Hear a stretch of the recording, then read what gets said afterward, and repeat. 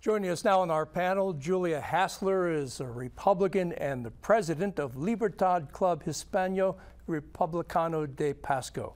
Natasha Sutherland is the deputy director of Florida Watch, and Craig Patrick is the political editor and chief investigative reporter at Fox 13 News. Nice to have you all here. Thank you for coming by Florida this week. Former U.S. Senator and two term Florida Governor Bob Graham, who gained national prominence as chair of the Senate Intelligence Committee and is an early critic of the Iraq War, has died. He was 87. He grew up on his family's dairy farm in Dade County. He was a millionaire, Harvard educated lawyer. Graham was known for his workdays when he would take a new job for a day, such as a waiter, a tomato picker, a factory worker, or a department store Santa. It was his way to meet and connect with ordinary folks. Over the course of five decades in public life, he had a total of 408 outside workdays. Graham was among the earliest opponents of the Iraq War, saying it diverted America's focus on the battle against terrorism. He was also critical of President George W. Bush for failing to have an occupation plan in Iraq after the U.S. military threw out Saddam Hussein in 2003. He co chaired the 9 11 Congressional Commission. Later, Graham called for full disclosure about possible Saudi Arabian government involvement in the September 11th terror attacks. So, Craig, this week many politicians of all political parties, I mean, President Biden, former President Obama, Nancy Pelosi, Democrats, but then many Republicans said nice things about Graham. Former Governor Jeb Bush did, Governor DeSantis, Senator Rick Scott, CFO Jimmy Patronis. Even the Republican Party put out a statement pro Graham this week. Why do you think he was able to get that much, uh, you know, uh, how many people? I mean, that. Yeah, he was a consummate consensus builder. He was a moderate who was very passionate about his state. You see his legacy in so many different ways, ways you may not realize from the widening of Dale Mabry Highway in Tampa to the Skyway Bridge that bears his name, its stability and its safety, certainly heading to our south, the preservation and protection and restoration of the Everglades. He started that. And then all across the state, there was an economic boom on his watch, but he also balanced that with smart growth. He gave us the era of growth management laws that were dismantled some 30 years later, but it still reduced urban sprawl much more than we otherwise would have seen.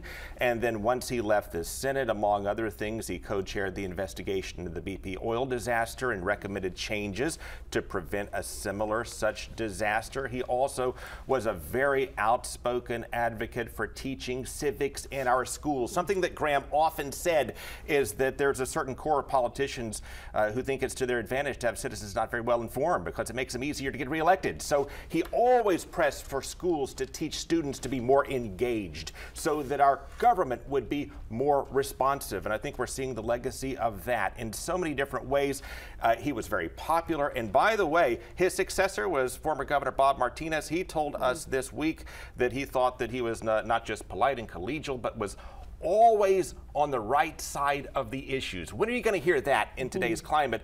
A Republican saying his Democratic predecessor was always right on the issues. That's why Graham left office as governor with an 83% approval rating, unheard of in today's world. That really is. Natasha, Graham once said uh, this about his job as governor. He said, We work for all the taxpayers of the state of Florida, not just the ones who vote for me. Is that era over where we see politicians trying to bridge the gap? I really hope not. Um, you know, Bob Graham, he served with integrity, honesty, decency, and compassion. And it's been really incredible to see the outpouring from folks on both sides of the aisle that reflect on his life of service and leadership. Um, he was a champion for everyday working Floridians. I mean, even his commitment to periodic work days, um, where he, he took on hundreds of jobs. Um, and I think it really showed his commitment to walking in all of our shoes um, to show how much he cared. And, and I really hope that this isn't the last that we'll see of, um, you know, magnificent politicians like him. And I know that he will be sorely missed. So um, he definitely set an example that I hope that politicians in Florida will, uh, will strive for. Julie, do you think we can get back to those days? Well, we certainly should in many ways because whomever is in leadership is representing, if, if they already won, they have a position of responsibility for every citizen of our Florida. Mm -hmm. So whether it's this county or that one, I'm from Pasco, you know, we all have to understand that there is people are watching and he was certainly a people person. So that's why he identified with different jobs just to show, I mean, just to even know how hard it was to be a waiter, to be a, a farm worker, to be in any type of uh, position. Yeah, a lot of those were blue collar jobs. Yes. Yeah. It's a